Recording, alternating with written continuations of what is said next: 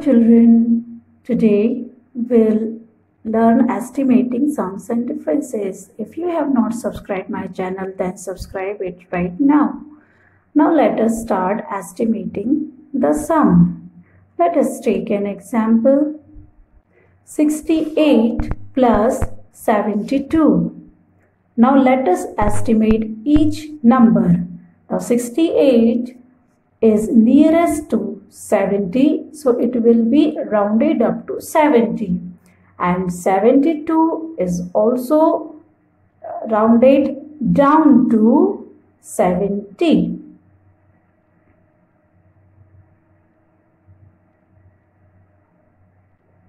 now add both of these numbers. Now 70 plus 70 will be 140 now find out the actual sum. The actual sum will be also 140. 68 plus 72 is equal to 140. Now let's take another example.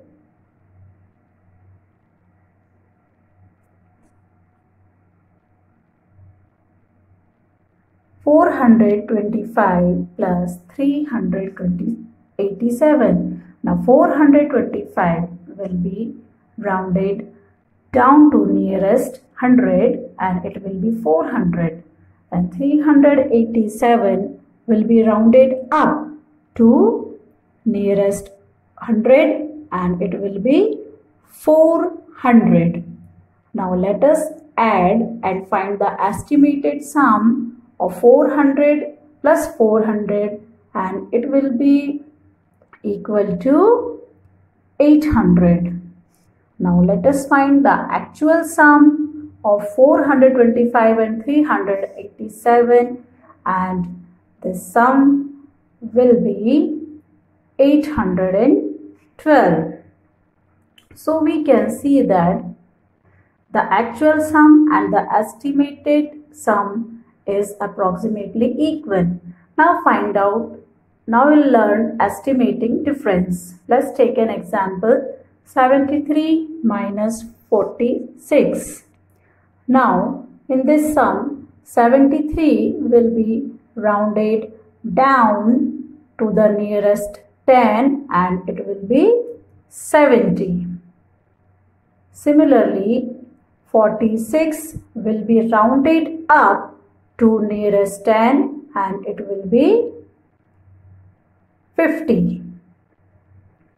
Now we'll find the difference of 70 and 50 and 70 minus 50 will be equal to 20. Now let us find the actual difference of 73 and 46. So 73 minus 46 is equal to 27. So this is the actual difference and the estimated difference. So 27 and 20. Now let's take another example. 9710 minus 4250. Now here are four digits and the number is in thousand so we'll uh, it, uh, round up to 10,000. 9710 will be rounded up to 10,000 and 4250 will be rounded down to 4000. Now let us find the difference of 10,000 and 4000 and it will be equal to yes and it will be equal to 6000. Now let us find the actual difference 9710 minus 4250 and the difference will be 4 5460 so how do you like this video? So keep watching and thanks for watching my video. Please subscribe